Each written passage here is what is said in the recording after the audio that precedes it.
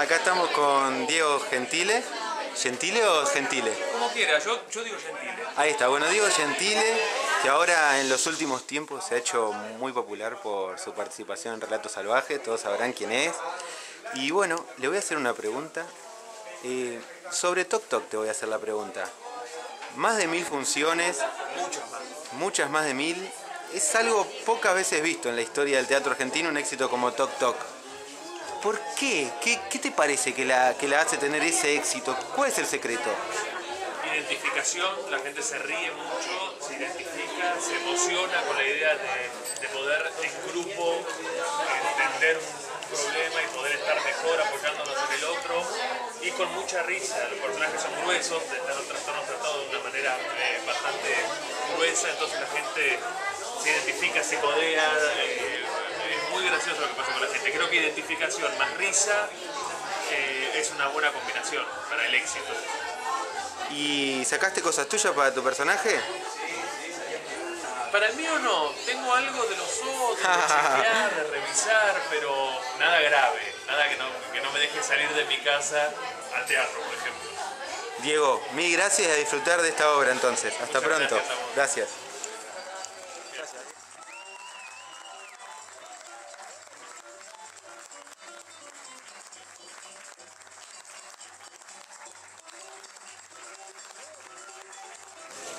Bueno, acá estamos en el método Kairos y acabamos de ver a Liliana con el señor Diego Gross, que realmente nos ha sorprendido su trabajo, lo felicito. Y bueno, en la vida es un taller, siempre preguntamos algo como para aprender. Y con, con voz teatral, porque con voz fuerte, porque justo hay mucho ruido, igual después lo voy a subtitular. Buenísimo. Contanos un poco de tu trabajo corporal, de cómo, cómo logras esto. Es realmente impresionante el despliegue que haces en esta obra, físico, baile, acrobacia, de todo. Es que yo empecé eh, con la danza. Lo mío empezó así, estudiando danza, jazz, estudié clásico. Y después Se nada, nota. me dediqué al canto y a la actuación. Ahora es- hago, trato de hacer todo. Yoga, ¿sos profesor de yoga también? No, no, soy maestro de jazz. Maestro de jazz. Clase de jazz. Ah, mira vos. Y bueno, lo último que te pregunto, Sí. eh, sobre esto un poquito más para indagar un toque más, porque eso que haces baile y todo eso se renota. Y se, se notan todas las técnicas que tenés.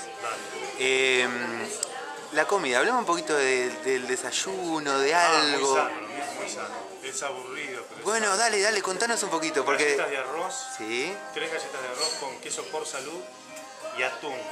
atún en la mañana. Sí. Y un vaso de leche de soja con cereales o avena. Ese es mi desayuno y mi merienda. Ahí está. En la merienda comes lo mismo. En la mañana como lo mismo. Y- una fruta. Y el almuerzo pollo, o carne o pescado, ensalada, arroz. Y en la mañana cuando te levantás, ¿estirás? Generalmente ¿Sos, no. sos de estirar? Porque viste que algunos bailarines se No, en las levantan clases. en las clases. Sobre todo en las, cla- en las clases sí. ¿Cuántas horas por día más o menos estás en el cuerpo trabajando? Y mira, yo doy cuatro clases, así que de una hora y media. Pero después, nada, el cuerpo ya, ya se acostumbra un poco. Y acá sí, acá un poquito me muevo. Maravilloso. Te felicito por tu trabajo y bueno, Genial, gracias. eh, que sigan los éxitos. Bueno, gracias. Gracias por venir.